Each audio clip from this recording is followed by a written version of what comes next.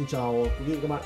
À, Trước mắt chúng ta là cấu hình à, phối ghép của cặp loa JBL L26 Decac à, Đây là model em đã giới thiệu với anh em à, trong ngày hôm nay. À, Em thực hiện phối ghép với chiêm ly Denon 1500R và đầu CD Denon S10 à, Cái đầu chiếc đầu CD này thì có chức năng làm giải mã à, để chúng ta có thể kết nối các nguồn nhạc số từ TV, từ đầu HD rồi từ các cái thiết bị phát nhạc số vân vân âm ly Denon 1500R Gold à, kết hợp với chiếc đầu CD này đồng bộ và rất đẹp. Chất âm dày dặn khi ghép với loa JBL là 26 các do loa là sử dụng gân mút và củ Anico cho nên việc phối ghép rất dễ dàng. Em thực hiện phối ghép với âm ly đàn ông nó cũng cho chất âm rất là tốt trong tầm tiền rồi.